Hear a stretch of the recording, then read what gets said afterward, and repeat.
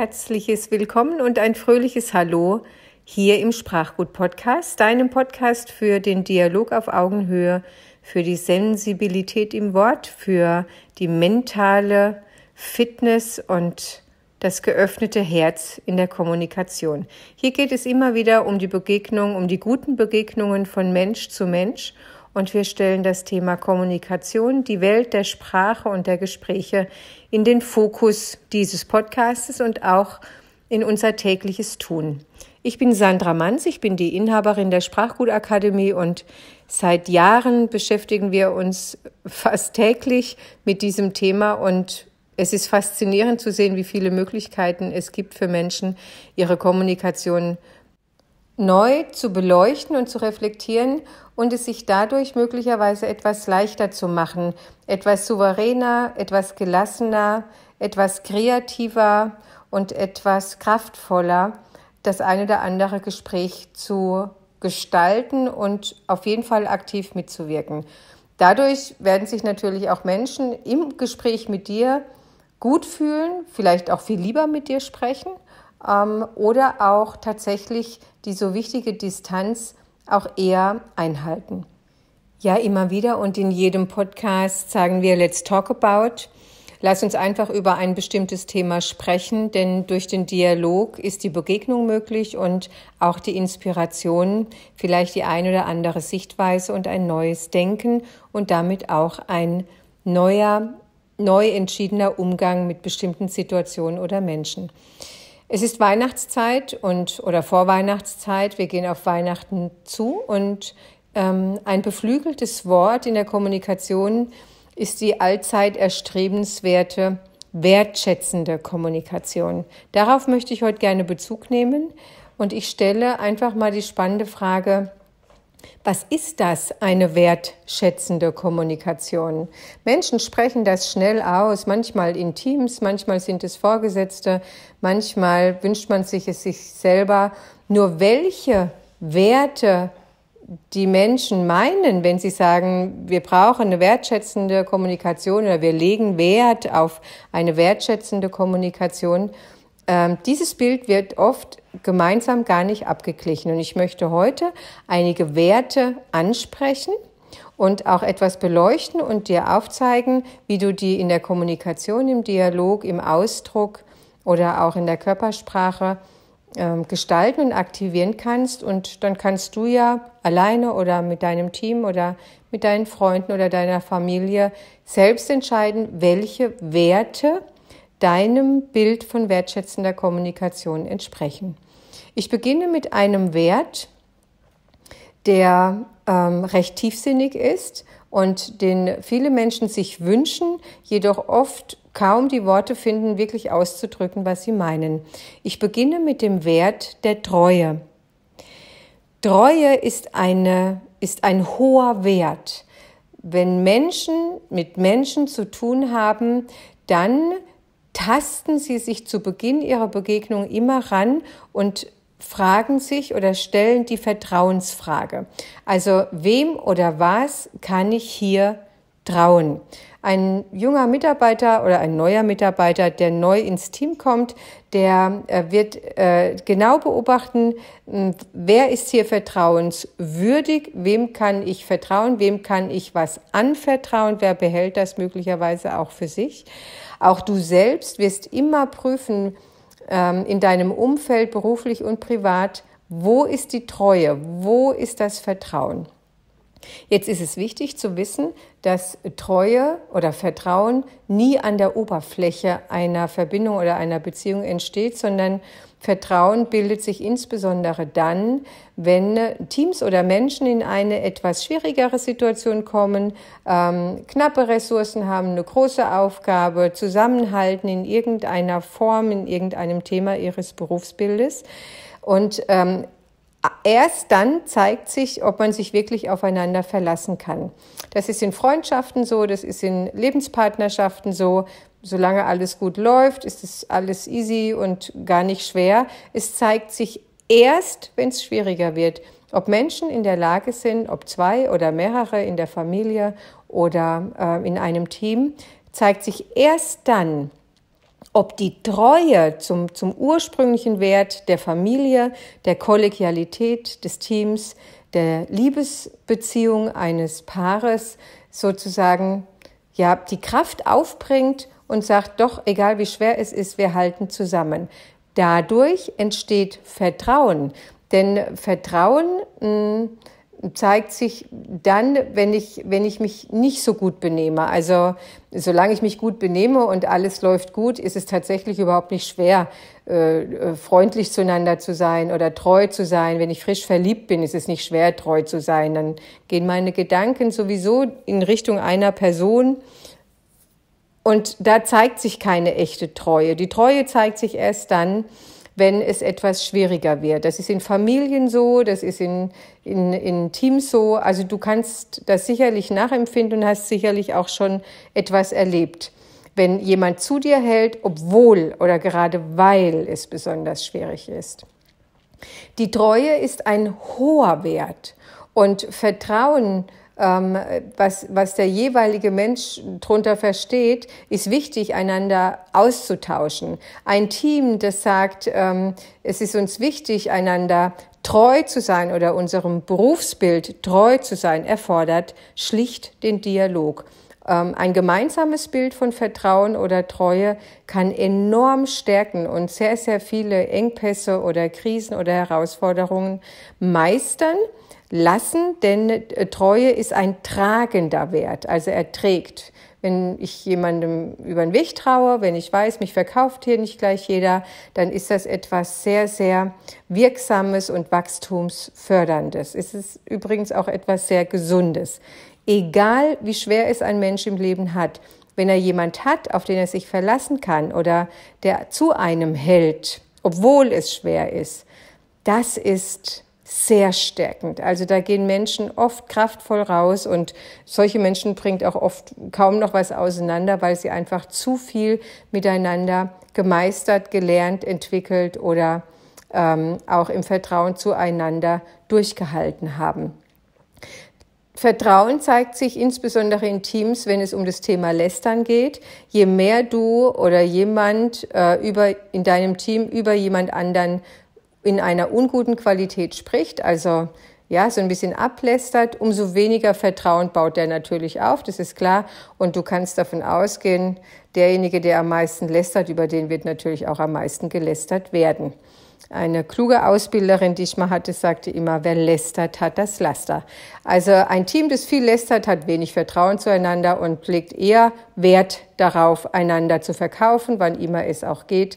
Man findet es auch sehr stark in Hierarchien, wo es um Rivalität, also um missbrauchte Hierarchien, ich möchte es mal so sagen, ähm, wo es um Rivalität, um Konkurrenz geht und man eigentlich nur darauf wartet, den Nächsten wieder in die Pfanne zu hauen, zu eigenen Gunsten oder auf Kosten anderer. Auch das ist übrigens ein Wert. Also vielleicht gibt es auch ein Team, das sagt, wir legen großen Wert darauf, uns permanent in die Pfanne zu hauen. Auch das ist eine wertschätzende Kommunikation, allerdings im völlig vertretenen Sinne. Vertrauen ist also ein möglicher Wert, den du für dich oder für dein berufliches oder privates Umfeld bewusst reflektieren und vielleicht noch mal neu entscheiden kannst. Aus meiner Sicht einer der ganz hohen Werte einer wertschätzenden Kommunikation. Wenn dieser Wert gelingt in der Kommunikation, ähm, da reden Menschen auch übereinander, allerdings durchaus auch positiv. Man schwärmt voneinander, man ermutigt einander, man ähm, gratuliert sich äh, für die Erfolge, man, man freut sich für den Erfolg der anderen und interessiert sich auch für den Erfolg der anderen. Vertrauen und die Treue, ein großer Wert. Ich nehme einen weiteren Wert und das ist die Menschlichkeit. Menschlichkeit ist ein Wert, der sich in der Kommunikation recht leicht ausdrücken lässt. Du kannst Menschlichkeit zum Beispiel zum guten Ausdruck bringen, indem du Namen benutzt. Wenn du jemanden ansprichst, dass du nicht einfach losplapperst in der Tür, sondern dass du einen Namen aussprichst, dass du Blickkontakt aufnimmst, einen Moment wartest. Das ist eine gute Gelegenheit für einen Atemzug. Und dann erst weitersprichst. Menschlichkeit zeigst du dadurch, dass du jemanden aussprechen lässt. Das sind die Klassiker in der Kommunikation. Viele wissen es. Es ist jedoch tatsächlich gar nicht so einfach im Alltag, ähm, solche fast ähm, feinen äh, Dinge oder Aspekte wirklich Beachtung zu geben. Menschlichkeit zeigt sich auch dadurch, nicht alles zu kommentieren und auch nicht immer recht haben zu wollen. Du merkst, hier geht es in einen Bereich der Haltung. Ähm, es gibt Menschen, die sind geneigt, zu allem und zu jedem tatsächlich ihre Meinung dazuzugeben. Manche nennen das auch ihren Senf dazuzugeben und eben auch noch einen Kommentar dazuzugeben. In der Menschlichkeit spielt auch Diskretion tatsächlich eine Rolle eine gute Distanz zu wahren und damit auch ein Stück Respekt, ein weiterer Wert mit reinzubringen. Die Menschlichkeit und der Respekt liegen eng beieinander. Ähm, ich komme nochmal auf meine Ausbilderin, zurück, Ausbilderin zurück, die wirklich viele, viele Dinge gesagt hat, die wir heute immer noch in den Sinn und ins Gedächtnis kommen. Sie sagte immer, Sandra, du kannst Menschen nicht ein bisschen achten. Entweder du achtest sie oder du verachtest sie, du achtest sie eben nicht. Und Menschen zu achten, menschlich zu bleiben, nicht in die Rechthaberei zu gehen, sondern ähm, diskret zu bleiben und anzuerkennen, Toleranz zu zeigen, ob der anderen Meinung und der anderen Sichtweise und der anderen Denkweise, das ist wirklich groß. Und es ist auch ein Stück menschlich. Menschlich ist es auch, Dinge Ereignisse, Situationen, die weniger gut gelaufen sind, nicht nachzutragen, sondern an der einen oder anderen Stelle versöhnlich zu sein.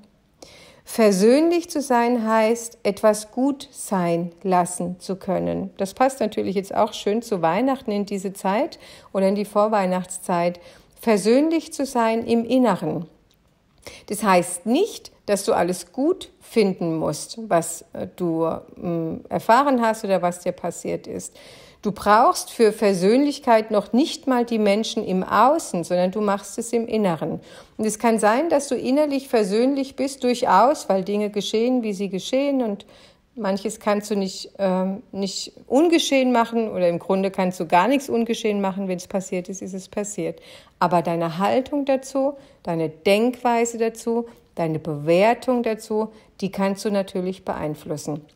Und selbst wenn etwas draußen passiert ist, was für dich wirklich schwer oder schlimm war, kannst du für dich im Inneren den Frieden finden und du musst aber nicht im Außen das kundtun und musst ähm, ähm, äh, im Grunde etwas tun oder danach handeln, äh, was deinem dem Schmerz, den du dennoch erfahren hast, widerspricht. Du kannst gut sein in dir und du kannst Frieden geben, du kannst etwas befrieden, was du erlebt hast und damit ein Stück Versöhnung in dir aktivieren und du kannst dir dennoch alle Zeit der Welt dazu lassen, das in der Welt, in deinem Leben auch ganz gemächlich angehen zu lassen. Du musst nicht wieder Kontakt aufnehmen, du musst da nicht hingehen und sagen, alles ist wieder gut. Ähm, es ist in Ordnung, in sich eine Geschichte zu befrieden und ihr einen Platz zu geben äh, und dennoch deine Entscheidung von Distanz oder ähnliches zu treffen, soweit dir möglich oder soweit dir wichtig in deinem Leben oder in deinem Beruf. Menschlichkeit, Respekt, Versöhnung, etwas befrieden, etwas gut sein lassen, das sind alles Werte, die zu einer wertschätzenden Kommunikation gehören können. Ein weiterer möglicher Wert ist das Thema Achtsamkeit. Achtsamkeit ist etwas, was im Grunde unseren Geist und also unsere Aufmerksamkeit dahin lenken will, zu sagen, sei wachsam, sei aufmerksam. Sei aufmerksam mit dir, mit deinen Kräften, mit deinen Möglichkeiten, mit deinen Entscheidungen und sei genauso aufmerksam und achtsam im Außen mit den Menschen. Erkenne, dass auch die ihre Grenzen haben, ihre Möglichkeiten, ihre eigenen Entscheidungen treffen und ähm, geh gut damit um. Mitgefühl zu haben mit jemandem, der es gerade schwer hat. Menschen, die es schwer haben, benehmen sich oft nicht so gut. Sie tun einfach Dinge aus der Not, aus der Angst, aus dem Schmerz, aus der Hilflosigkeit heraus und zeigen dann nicht unbedingt das beste Verhalten. Mit diesen Menschen Mitgefühl zu haben, es nicht persönlich zu nehmen, ihnen gute Gedanken zu schicken äh, und sich dennoch auf eine, eine gute Art und Weise zu positionieren und auch auf Distanz zu gehen, ist ein weiterer Wert. Wenn du eine Kollegin hast, die es schwer hat in ihrem Leben, wie auch immer, und jeden Tag davon erzählt und immer erzählt, wie schlecht es ihr geht und so, ist es völlig in Ordnung, mit dieser Kollegin durchaus Mitgefühl zu haben, ihr auch das zu bekunden und dennoch ein gutes Maß an Distanz zu finden und ihr auch das zu sagen und zu signalisieren. Äh, wichtig ist, dass das ohne Bosheit, ohne Verachtung und ohne Überheblichkeit geschieht. Immer wenn Menschen sich über einen anderen Menschen stellen und denken, naja, also kein Wunder und so, dann gehst du in eine, eine Haltung, die dich aufwertet und den anderen abwertet. Und möglicherweise ist dir das gar nicht so bewusst. Prüfe das. Der Dialog auf Augenhöhe heißt immer, ich muss nicht alles verstehen, ich brauche auch nicht alles verstehen, aber ich kann dir mit einem Grundrespekt begegnen. Die Werte einer Familie können natürlich ganz anders sein wie die Werte einer Partnerschaft oder einer Liebesbeziehung oder einer Freundschaft und die Werte eines Teams, das finde ich immer ganz besonders spannend, können in ganz verschiedene Richtungen gehen. Ich möchte noch einen weiteren Wert benennen, den ich persönlich sehr, sehr wichtig finde. Und ich ähm, benenne diesen Wert in, dem Bereich Zuversicht Humor, auch den Glauben an etwas und auch ein Stück Positivität. Wenn Menschen und Teams sich erlauben, trotz aller Schwere, trotz aller Kritik im Außen, trotz allen Konfliktpotenzials, ähm, das sich zeigt, dennoch Heiterkeit, Leichtigkeit, etwas Humoriges, etwas, ja, Lebensfreude in einer einer Situation oder in einer schwierigeren Zeit sich zu bewahren, finde ich, also erachte ich von unfassbar hohem Wert. Denn immer wenn es jemandem von uns gelingt, zuversichtlich zu bleiben, ein Stück Hoffnung reinzugeben, ein Stück Leichtigkeit, etwas Geduld reinzugeben, dann bewirkt es oft ein Beruhigen der Gemüter und dadurch können kreative Gedanken entstehen und auch ein kreativer Geist wieder aktiv werden. Nichts ist schlimmer, wenn sich viele Menschen im destruktiven Gedanken mit total viel Frust und viel Erschöpfung zusammenfinden und sich am Ende nur gemeinsam leid tun, aber nicht in die Gänge kommen. Immer wenn ein Problem irgendwo ist, dann ist es wichtig und hilfreich, dass die Menschen vor Ort das Problem erkennen, es auch kritisch betrachten, auch kritisch kommunizieren und dann bitte in die Lösungsorientierung und in die Vorwärtsbewegung und in die Aktivität gehen. Und für mich von ganz hohem Wert ist, dass das niemals auf Kosten anderer Menschen geschieht. Werte wie Rivalität, Konkurrenz, Rechthaberei, sich durchsetzen, sich durchboxen, sich durchkämpfen, sind auch mögliche Werte einer Umgangs- oder Kommunikationskultur, nur prüfe das, denn es ist eine kräftezehrende äh, Qualität und ich glaube, die allermeisten Menschen verstehen unter einer wertschätzenden Kommunikation etwas völlig anderes. Es mag Zeiten geben, da ist es wichtig. Ich empfehle das unbedingt zu begrenzen und ich empfehle dir sogar, dich von Menschen zu distanzieren, die immer wieder versuchen, dir den Glauben oder die Werte, die dir wichtig sind, schlecht zu reden oder klein zu reden. Man kann sich Dinge schönreden, man kann sich Dinge aber auch schlecht reden. In einer wertschätzenden Kommunikationskultur, meine ich, ist die Mitte genau richtig. Mal ein bisschen in die Richtung, mal ein bisschen in die andere Richtung. Wenn du von allem was hast, wenn du mit deinem Team von allem etwas pflegst und ganz bewusst darüber immer wieder mal in Dialog gehst, pflegen wir noch unsere Werte in der Kommunikation und im Umgang miteinander oder haben wir einfach ein bisschen, weiß ich nicht, die Spur oder den Weg verloren? Wollen wir das äh, wieder mal angleichen oder korrigieren? Das ist das, was ich dir wünsche. Denn mal daneben zu treten, das ist menschlich, das ist völlig in Ordnung. Es zu reflektieren und den Anspruch zu formulieren, das ist Größe.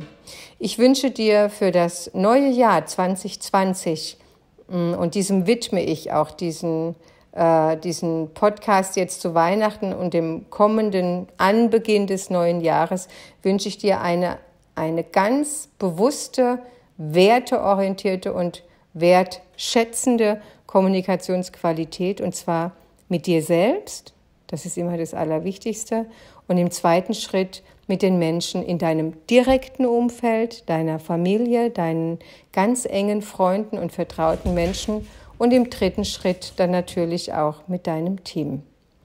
Ich wünsche dir viel Freude.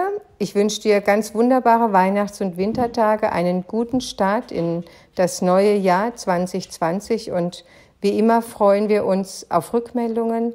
Erzähle uns von deinen Erfahrungen, von deinen Ideen, von deinen Gedanken und deinen Reflexionen und ich wünsche dir eine ausgesprochen warmherzige und fröhliche Zeit im Geist und insbesondere im Herzen. Bis ganz bald, deine Sandra.